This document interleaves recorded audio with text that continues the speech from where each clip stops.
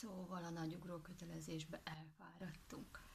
Nélci cica az ablaknál feküdt le, hát betakargattam meg. Hát én mindig betakargatom, nem tudom, én olyan izé vagyok.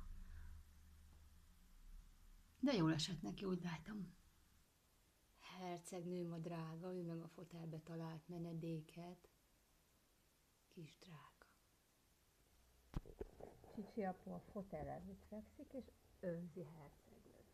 Jó. Ne is videózzál, most alszok, ez a magánszférám. Kis drágám.